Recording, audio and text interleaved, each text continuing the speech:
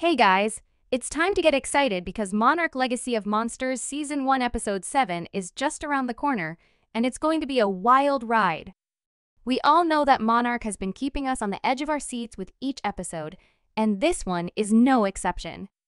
So buckle up and get ready to enter a world of uncertainty as we prepare to watch Episode 7 on Apple TV+. Titled, Will the Real May Please Stand Up? This episode promises to unveil long hidden truths about our beloved character May. Have you ever wondered about her past? Well, this episode will finally give us a glimpse into her history. But it's not just May's past that will be uncovered, as Shaw and Duvall follow the traces of Godzilla and Hiroshi.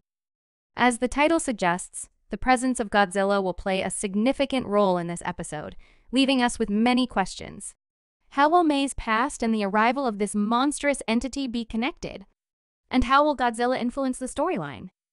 This episode is sure to be action packed and full of surprises. So get ready for a viewing experience like no other, as Monarch Legacy of Monsters takes us on a journey through mysteries and unknowns.